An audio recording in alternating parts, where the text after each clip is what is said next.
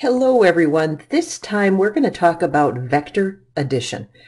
If you recall, a vector is any sort of a measured quantity that has both size, meaning a number, and there is a direction associated with it.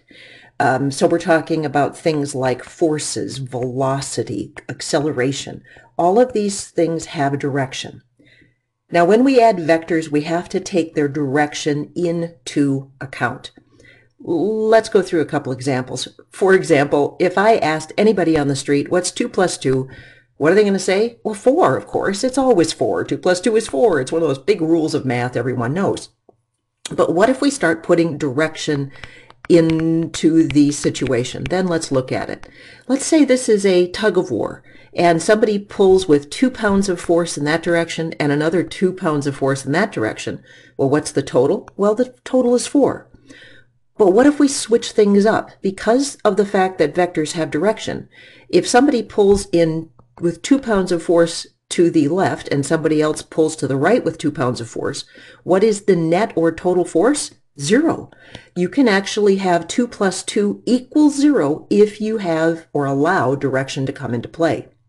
Well, what if it's not in a straight line? What if we have a vector of two pounds of force pulling this way and another two pounds of force pulling that way. What's going to be the total of the two? Well, I don't know unless I know more information about the situation, more specifically, the angles involved. So I do know if I'm going to add 2 plus 2 in the world of vectors, the answer is going to be somewhere between 2 and 0. But uh, beyond that, then Oops, I said that wrong. The answer is going to be between 4 and 0. Um, and exactly what it's going to be, it's all going to depend on direction. When we add vectors, there are a couple rules that we follow when adding vectors, and, and don't worry, there's only two rules. Um, rule number one says always add the vectors nose to tail. So I've got a vector here, and then when you draw the next vector, it goes, the tail of the first is at the nose of the last. And then the second rule for adding vectors is you draw the resultant from the tail of the first to the nose of the last. That is the resultant. Now, that's a fancy $2 sciency word, and resultant means sum of vectors. And that's a word you should know because you're going to read it in a problem. Problems are going to say something like, these two vectors are added. What is the resultant? Which basically means the vector sum. So let's go through a problem. A motorboat is headed straight west across a river with a speed of 15 meters per second. There is a current in the river of 7 meters per second towards the south. What is the resultant velocity of the boat? All right, a picture is really, really helpful. And if you are ever, ever given directions like north, south, east, west, I'm going to encourage you to draw your pictures kind of like a map north at the top, south at the bottom, east to the right, west to the left. Can you do it another way? Absolutely. But that's going to make it simpler if you always draw the pictures with the same orientation. So I have a river that is running from the north to the south. I have a little boat. There's a top view, aerial view of my little boat. And the boat is headed straight west across the river so I'm going to draw a vector straight towards the west across the river at 15 meters per second. There's a current in the river towards the south. Now the current in the river is acting on the boat, and we'll talk about this further in the course, but we're going to make, we're going to pretend, or we're going to do the math as if all of the forces or all the vectors act on an object in exactly the same point. So here I'm going to draw my southward vector towards the south of 7 meters per second. And I want to know what is the resultant, which means I have to add the vectors. All right, how the heck do you add vectors? Well, right now, they are not nose to tail. They are tail to tail. So what you have to do is you have to pick one of the vectors up and move it so that it is, redraw it so that it is nose to tail. And then you draw the resultant from the tail of the first to the nose of the last. Now, when you do this picking up and moving vectors, you want to keep the same exact size and the same directional orientation. One of the questions people ask me very often is, Mary, does it matter which vector I pick up and move? What if I, instead of picking up the 7 meters per second, I picked up the 15 meters per second? Well, let's do that and see what happens. If I pick up that 15 meter per second vector and keep the orientation and size, and I move it down so it is now nose to tail with the 7, what I end up with is I have created a parallelogram. And I have actually created a little rectangle here.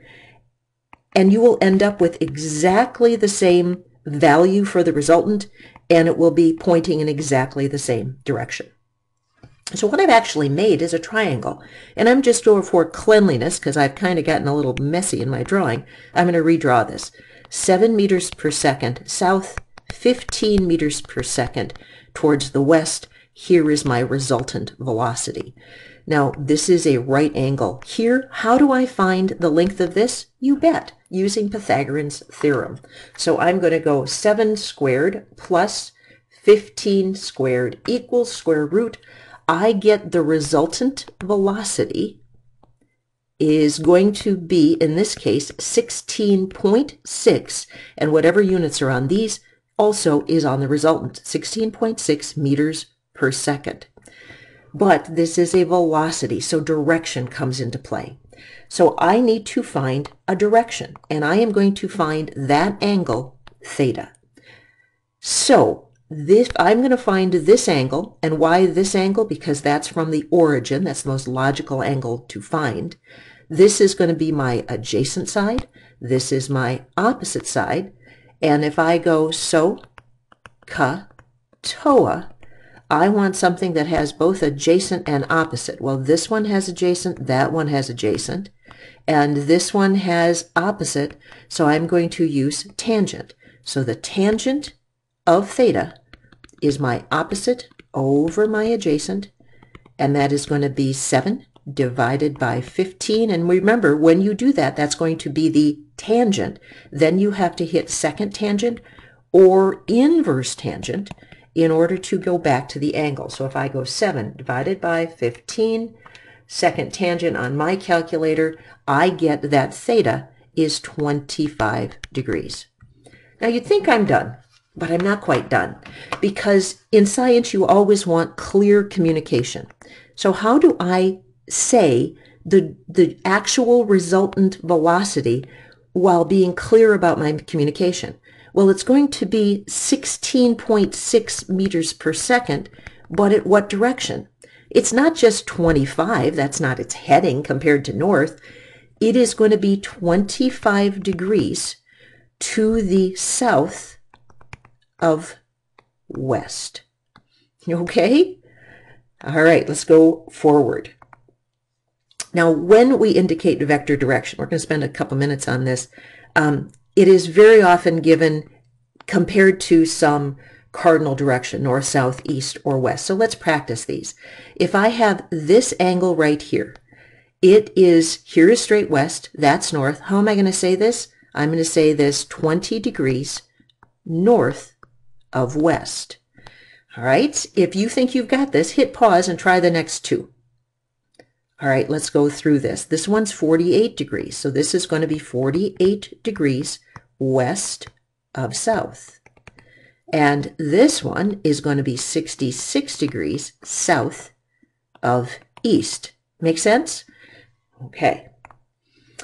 Sometimes when you are navigating in airplanes or on a boat or orienteering or walking in the woods, um, you don't give directions as 28 degrees west of north. It's too cumbersome.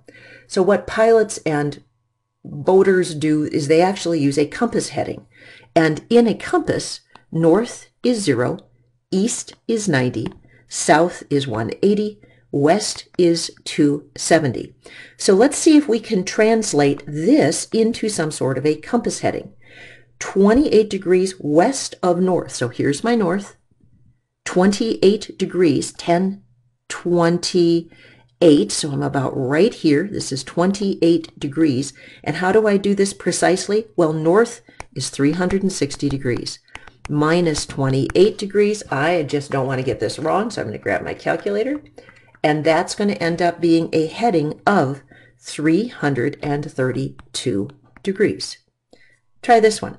60 degrees east of south. 60 degrees east of south. So here's my south. 10, 20, 30, 40, 50, 60. 60 degrees east of south is going to be a heading of 120 degrees. Now, if you look at this and you go, Mary, that sounds really confusing, this is why it gets confusing. If you are navigating out into the big world of, of navigation, um, north is zero degrees, east is 90, south is 180, west is 270, and it goes back to zero or 360. And the angles go in this direction. They go in a clockwise direction. Some of you have spent a lot more time in math class than you ever have wandering around the universe navigating with a compass. And in mathematics, this is zero, then it goes 90 up here, then 80, then 270, then 260, and this is in a counterclockwise direction.